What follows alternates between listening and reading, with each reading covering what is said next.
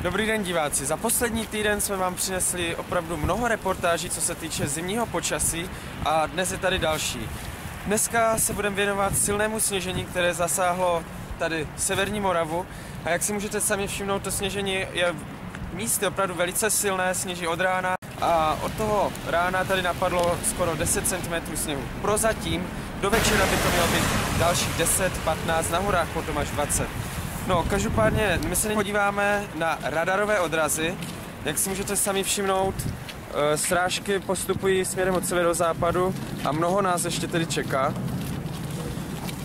A, ale abych řekl pravdu, tak večeru toto sněžení přejde postupně v déšť, protože z čeho právě sněží je teplá fronta, takže za ní se postupně otepluje. Už v Čechách momentálně jsou hlášeny teploty i okolo 6 stupňů nad nulou. Takže my celou situaci sledujeme a jak si můžete sami všimnout, i v Ostravě silnice jsou velice obtížně sízné, i když silničáři dělají, co je v jejich silách, jsou v plném nasazení, tak přece jenom sněží opravdu vydatně a silnice jsou tedy kluské a na cestách je vrstva uježděného sněhu.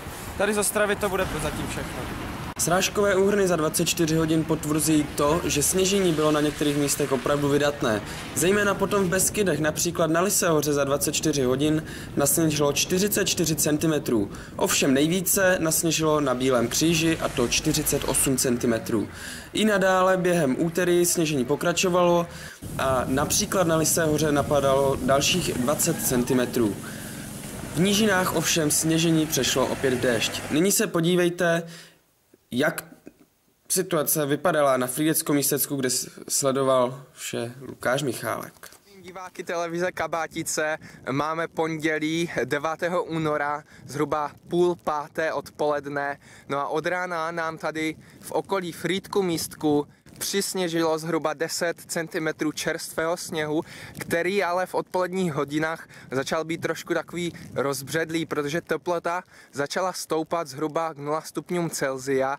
No a právě proto eh, ty, ty sněhové podmínky nejsou úplně ideální. Já jsem se právě e, vypravil na běžky pod kopce Palkovických hůrek, ale vzdal jsem to, protože ty e, stopy, které tady byly projeté, jsou teďka všechny zasněžené.